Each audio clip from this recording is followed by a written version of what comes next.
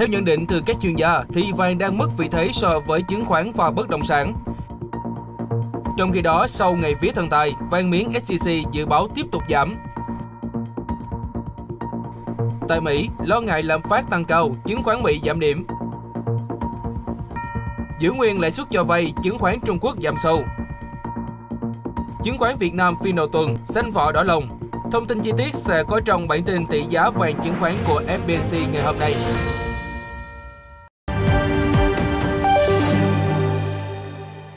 Đây là bản tin tỷ giá vàng chứng khoán của FBNC ngày đầu tuần. Mở đầu là các thông tin quan trọng trên thị trường quốc tế trong tuần vừa qua.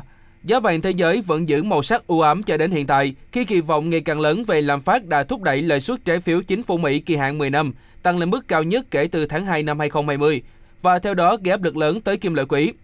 Kết thúc phiên gần nhất ngày thứ Sáu ngày 19 tháng 2 theo giờ địa phương, giá vàng đã phục hồi từ mức thấp nhất trong 7 tháng qua, chấm dứt chuỗi 5 phiên giảm liên tiếp. Tuy nhiên, tính chung cả tuần thì vàng vẫn mất gần 3%, mức giảm mạnh nhất kể từ tuần kết thúc vào ngày 8 tháng 1 Đóng cửa hợp đồng vàng giao ngay tăng 0,3% lên mức 1.780,86 đô la một ao. Hợp đồng vàng tương lai cũng nhích nhẹ 0,1%, tương ứng là 2,4 đô la, lên mức 1.777,4 đô la Mỹ cho một ao. Ông Ba Meles, giám đốc chiến lược hàng hóa tại TD Security đã nhận định, đồng bạc xanh giảm trong phiên đã đẩy giá vàng tăng cao hơn, đồng thời nói thêm rằng động thái này cũng có thể chỉ là mang tính chất kỹ thuật chỉ số US Dollar Index, thước đo diễn biến của đồng đô la so với 6 đồng tiền chủ chốt khác, ghi nhận mức lùi 0,3% tính đến giờ dịch cuối cùng.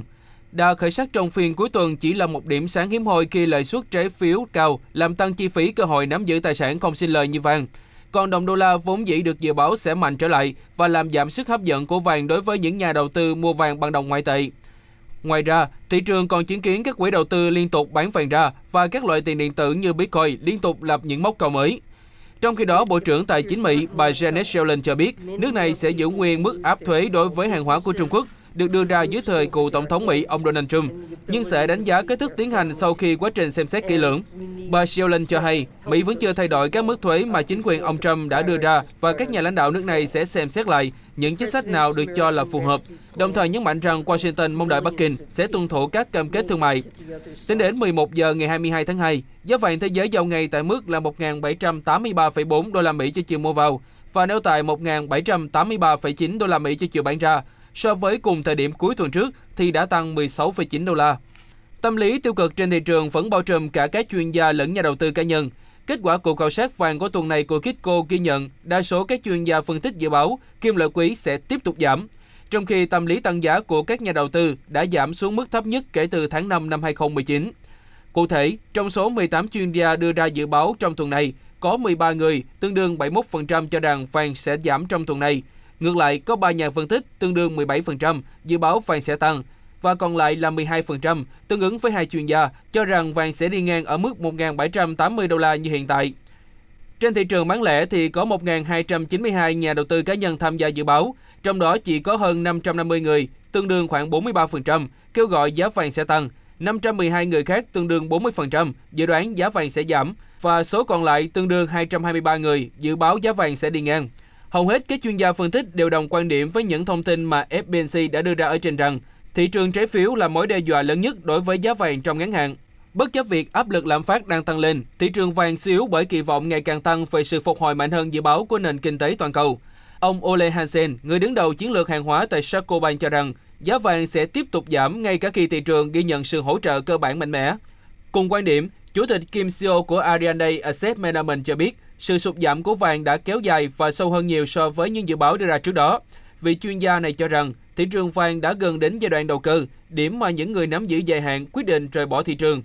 Tuy nhiên, Chủ tịch Fed ông Jerome Powell thì cho rằng còn quá sớm đi Cục Dự trữ Liên bang có thể đánh giá những tác động của vaccine ngừa COVID-19 đối với nền kinh tế Mỹ, đặc biệt là trong thời gian trước mắt, khi dịch COVID-19 tiếp tục diễn biến phức tạp tại Hoa Kỳ, và tháng tới sẽ còn có thêm nhiều thách thức cho nền kinh tế lớn nhất thế giới.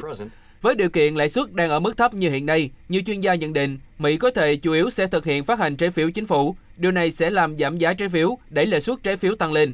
Đây cũng là lý do mà các nhà đầu tư tin rằng vàng sẽ bị tiếp tục kiềm hãm trong ngắn hạn. Bên cạnh đó, nếu gói cứu trợ 1.900 tỷ đô la của Mỹ được thông qua, nền kinh tế nước này có khả năng phục hồi vào năm sau. Xu hướng chung của các nhà đầu tư là cảm thấy phấn khởi khi có các tín hiệu tích cực. Do đó, dòng tiền sẽ đổ nhiều hơn vào các tài sản sinh lời cao như là chứng khoán hay bất động sản.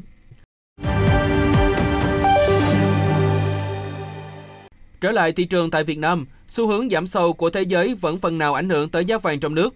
Tuy nhiên, dự báo chốt ngày giao dịch sôi động nhất của năm ngày vía thần tài, giá vàng miếng SCC sẽ hạ nhiệt, nhu cầu lập tức giảm trở lại. Thực tế, trong một vài năm qua, sau ngày vía thần tài, giá vàng thường tự động giảm mạnh, nên hôm qua một số người có vàng cũng đã tranh thủ bán chốt lời. Tính đến 11 giờ ngày 22 tháng 2, Sài Gòn SCC niêm yết một lượng vàng miếng bán ra tại mức là 56 triệu 50 ngàn đồng tại thành phố Hồ Chí Minh và 56 triệu 70 ngàn đồng tại Hà Nội, giảm 300 ngàn đồng. Chiều mua vào neo tại ngưỡng là 55 triệu 550 ngàn đồng, giảm 250 ngàn đồng so với cùng thời điểm cuối tuần trước. Phú Nhuận PNG niêm yết hai chiều ở mức là 56 triệu 50 ngàn đồng cho chiều bán, giảm 300 ngàn đồng. Chiều mua thì ở mức là 55 triệu 500 ngàn đồng, cũng giảm 300 ngàn đồng. Bảo Tín Minh Châu là doanh nghiệp giữ mức giá chiều mua neo tại 55 triệu 570 ngàn đồng, cao nhất so với các doanh nghiệp. Trong khi đó, giá bán giữ tại mức là 55 triệu 940 000 đồng, giảm hơn 200 000 cho mỗi chiều. Các loại vàng nhẫn vàng nữ trang thì cũng điều chỉnh giảm theo xu hướng chung của thị trường. Vàng nhẫn 4 số 9 giữ chiều bán tại mức là 54 triệu 750 000 đồng, chiều mua đeo tại 54 triệu 100 000 đồng, mức lần lượt 50 000 và 100 000 so với cùng thời điểm trước. Vàng nữ trang 24K và vàng 18K thì cũng có mức bốc hơi từ 112.000 đồng trở lên, như số liệu chi tiết mà quý vị đang nhìn thấy trên màn hình.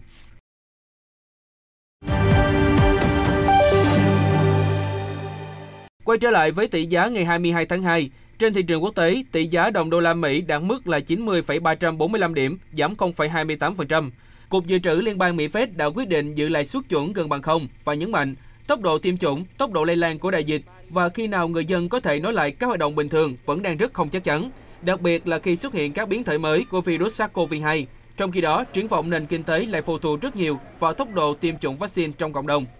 Tại Việt Nam, giá 1 đô la Mỹ bán ra tại mức là 23.769 đồng, giảm 9 đồng, mua vào mức là 23.125 đồng, không đổi so với các phiên trước đó.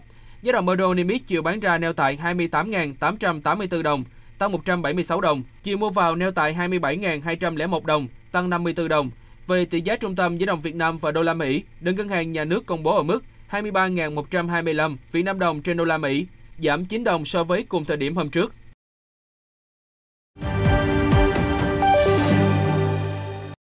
Thị trường chứng khoán Mỹ tuần vừa qua đi xuống khi nhà đầu tư lo ngại việc lợi suất trái phiếu và kỳ vọng lạm phát bắt đầu tăng lên, trong khi đề xuất cứu trợ nghìn tỷ đô la Mỹ của Tổng thống Joe Biden vẫn chưa được thông qua. Thị trường chứng khoán Mỹ vẫn diễn biến tiêu cực giữa lo ngại về lãi suất và lạm phát gia tăng.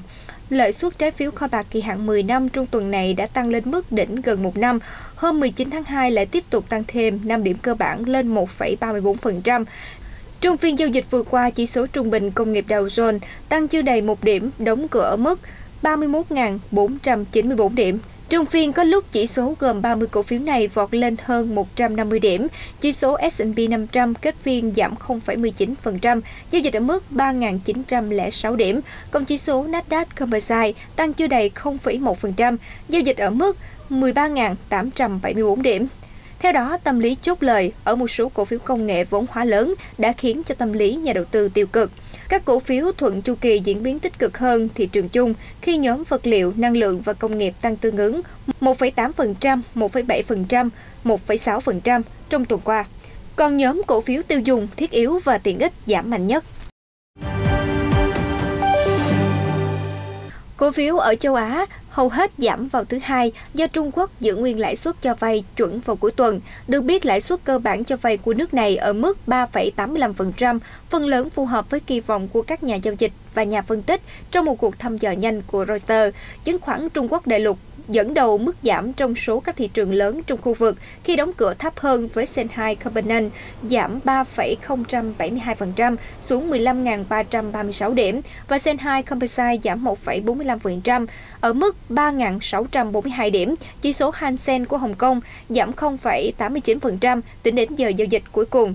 Tại Nhật Bản, chỉ số Nikkei 225 đi ngược lại xu hướng chung khi tăng 0,46%, đóng cỡ mức 30.156 điểm, trong khi chỉ số Topic kết thúc ngày giao dịch cao hơn 0,49% ở mức 1.938 điểm. Kospi của Hàn Quốc đóng cửa thấp hơn 0,9% ở mức 3.079 điểm. Trong khi đó, S&P ASX 200 tại Úc kết thúc ngày giao dịch thấp hơn 0,19% và giao dịch ở mức 6.780 điểm.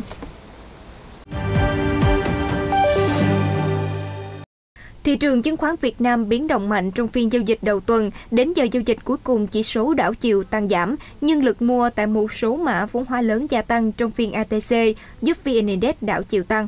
Theo đó, đà tăng của VN Index đến từ các mã vốn hóa lớn là VHM, VIC và BLX.